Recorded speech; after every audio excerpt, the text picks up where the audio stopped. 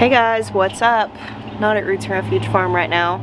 It's actually the morning after Thanksgiving. Um, I feel like I was hit by a train from cooking all day yesterday, but I will recover.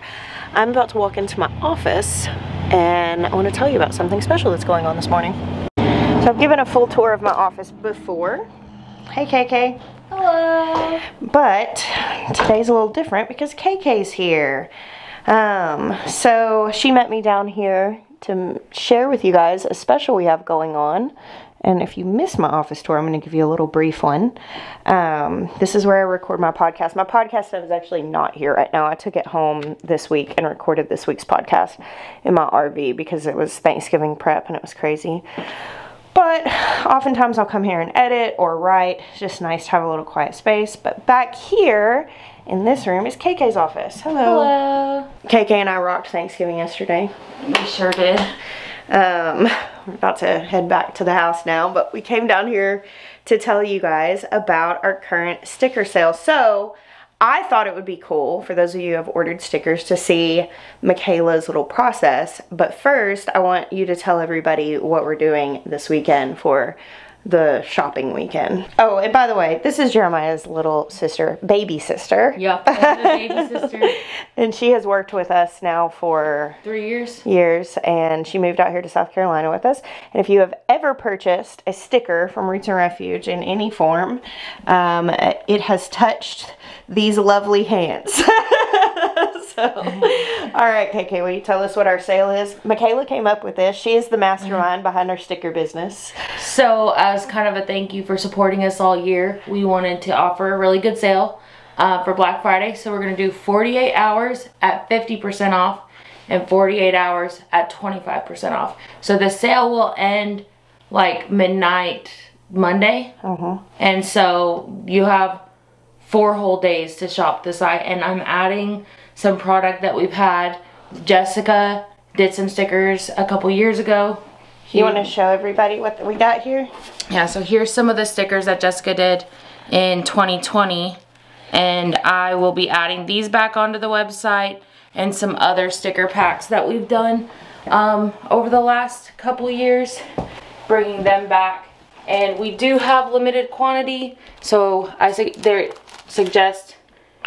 We'll also get on that 50% off. Oh yeah, the 50% off is great. And these are great stocking stuffers or like lit, great little gifts you could put in like a card mm-hmm. to send to a loved one. But yeah, Awesome. This was our very first sticker yep.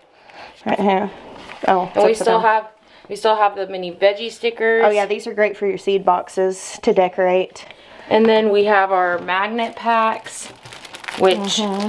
Those are fifty percent off too. yep, everything will be. So the grab bags are like just random ones from past things, Mm-hmm. and then there's also artist grab bags, like my grab bag, my artist grab bag. I think there's a couple other artists too, right? Yep, we have Sam, Yeah. and then we have Carol. Awesome. Oh, these were really pretty too. Yep, and then I love creative cuts. Look at all this. People come in and they're like, "Where is everything?" I'm like, "I have no idea. This is Michaela." Oh, and this is Jessica's. me. I was like, that looks familiar. Yeah, you did I drew this. that. awesome. All right, and one more little thing that we decided to do. So over here in the office, these are some odds and ends shirts and tank tops and hoodies uh, from previous merch drops. So like, here's Real Food Comes Dirty. Um, I will tell you that there is a chance. Huh, do 10. Um, I will tell you that there is a chance if you end up getting one of these hoodies that I wore it if it's a size large or extra large. but I promise only for like the recording of a single podcast and then I put it back. Um, so what we're gonna do is we're gonna pick 10 random orders. So in the notes of your order, put your shirt size, okay? And we, out of the ones that have a shirt size included, we're going to pick 10 and we're going to include just a free random shirt. Can't, you know, obviously there's gonna be a lot of orders, so however many orders comes in, that defines the odds. But 10 orders, include your shirt size in the notes. Um, adult, extra small to what, 3XL, I think? Yeah, Or maybe. yeah. We think- have small to three X. Okay, yeah, I think that's what we have i here. Um, and they're all random. They're all different kinds. You, you know, you may get something you have already have, but that's what we're doing. So 10 orders, make sure you include your shirt size to be included in that. And the link to all of this will be down below to our sticker shop. All right, KK, well, you want to show us your process? Sure. Say an order From- comes in, and what do you do? So I walk in. Taking it from the top. and then I go to ShipStation. I print a label here. The label comes out here. Mm-hmm. I then take it and I come over here with love in my heart and I grab all the stickers that I need for that order. And then I take one of these lovely postcards. Every order comes with this postcard, by the way, so you can put our first sticker somewhere lovely. And that's me. I wrote that with this beautiful envelope that Jessica also designed. And doodled all over. And- I love Sweet Miah, my babies, bear dog, stickers, tomatoes, and you. there we go. And then oh, I postcard, sorry. So the postcard actually has a double purpose here. It actually helps keep the stickers from being bent as well. and I put it in here.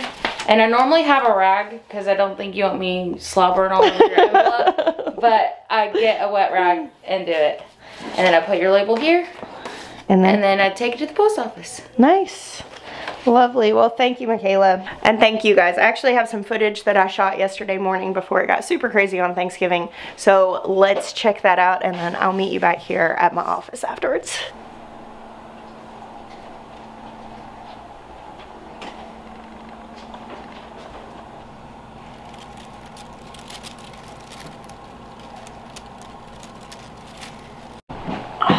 Hey guys, good morning. Happy Thanksgiving. Oh, I just poured my coffee, so I'm to take a second sip on it before I proceed with what I'm working on. It's Thanksgiving morning. I think we had frost last night. It's actually been the first time that it's frosted since the first frost, which was at this point, like, what, three weeks ago or something like that. But it's a nice morning. Sun's rising over the frost-kissed farm. I like that. So I'm working on something that is a tradition here in our home. So I told you guys whenever I was telling you about our grocery store challenge, how um, the 1st of October we started a challenge of not grocery shopping and like basically forcing ourselves to live off our pantry, our freezers, our farm, and then what we make from those things from scratch. So, um, and then and we continued bulk buying because I didn't want to just like completely use up my pantry. I wanted to be able to replenish it, but with whole ingredients so that I was not tempted to fall into convenience foods and it's really pushed us in like the kids' lunches and really like using up leftovers and all that stuff. It's been really good. But I said that I, I had to make a couple of exceptions, one for Thanksgiving and one for Christmas, because there were certain things at the store for just like our traditional things. And honestly, for the most part, I cook almost everything from scratch um, for Thanksgiving. I do buy obviously things like cranberries that I don't normally have and make like cranberry sauce from scratch. I shared a recipe for that over on the farmer's table. I could, I'm sure, make this dough from scratch in some way. It may even be extremely simple, but this is nostalgic. When I was a little girl, my aunt, my Aunt Anne, made sausage pinwheels every single holiday morning. She made these. And they're literally the most simple thing. So you get canned crescent rolls and roll them out. I'll show you when I do the next one. And then sausage, which is thawed. This is sausage from a hog we recently processed. And you just mash the sausage out and then roll them up and slice them like so and then bake them until they're golden brown whatever 15 12 13 minutes something like that. So what does this say? Well this says the 10 to 13 minutes so that's when I'll take a look at them and I've literally eaten these well I can't eat these now because I can't eat gluten but I ate them every single holiday morning of my life until then. And then my children have eaten them every single holiday morning of their entire life. And it's just one of those things that I'm not prepared to really change. It's okay sometimes to have exceptions, even if your goal is to make food from scratch and to do things supernaturally and all of that. Like, it doesn't have to be such an intense rule and and honestly I don't ever buy like canned biscuits because you can make biscuits so much cheaper but for this particular application you gotta stick with nostalgia and that's what I'm doing my kids love waking up to sausage pinwheels they're so easy I mean these could easily be like a morning breakfast on a school day they're that simple that this could be like a regular thing but because we only do them on the holidays, it's like maintained this specialness. It's almost, I guess, fabricated a specialness to them. And I remember like asking my aunt when I became an adult, being like, Aunt Anna, how do I make sausage pinwheels? Like, and in my mind, they must be so like, it must be something because it was such a big deal because it was tradition, because it was every time, because it was the flavor of Thanksgiving morning. And I remember asking her, and she was like, it's literally the easiest thing. And it's funny because I can't remember exactly. I need to ask her to be sure. But I mean, I'm pretty sure it's just something that she learned. I mean, it's just using like canned crescent dough, crescent roll dough, and sausage. Maybe it was in a magazine. It was just something she just started doing at some point. It wasn't that it was some fancy thing or fussy thing. It's just something she started doing, but because she did it consistently, it became the taste of Thanksgiving morning. And that taught me a really big lesson about creating atmosphere and traditions for holidays in a home. It's really not about being fancy. It's really not about like busting your butt. Of course we do, but more than anything, it's just about being consistent. It's just about consistently and joyfully showing up. And that's how heartwarming traditions are made. So here I am, Thanksgiving morning before anybody else in the house is up, rolling out the sausage pinwheels like I have every single Thanksgiving of my adult life. All right, I'll show you guys this, um, even though it is extremely simple. I know that some brands of crescent roll dough you can buy and it's a sheet. Um, but like this brand doesn't come that way so you just kind of got to press it back together because these are already like perforated so just roll it out. Just kind of press the perforated places back together to make a more consistent sheet. Thawed out breakfast sausage mash it flat and just cover the entire sheet with it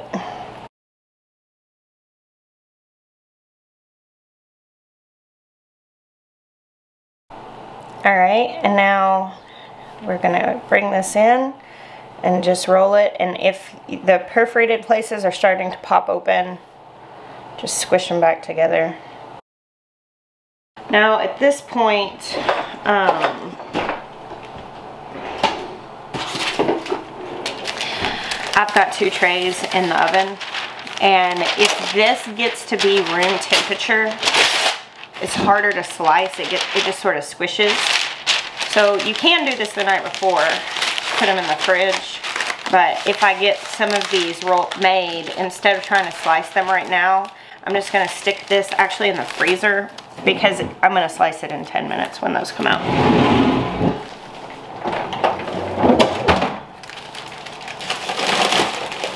When it's cold, it slices better. When my children are younger and they woke up at like the crack of dawn and were hungry immediately, I would prepare all of these the night before and I would just put them in the refrigerator so that the next morning I could just wake up, preheat the oven, slice them and put them in. Um, my kids are older now and so it's like seven and nobody's awake so they won't they won't like wake up on their own until like 7:45 to 8 o'clock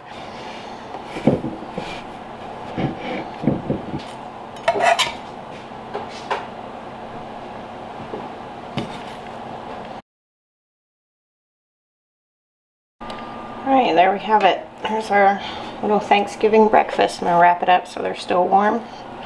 Alright, back at the office, I actually just edited what you just watched.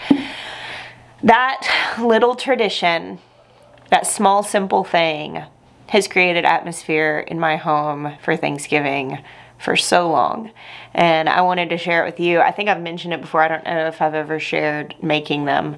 Um, I, have spent what six Thanksgiving mornings now as a content creator, so I, I, figured it was probably about time if I haven't showed that before.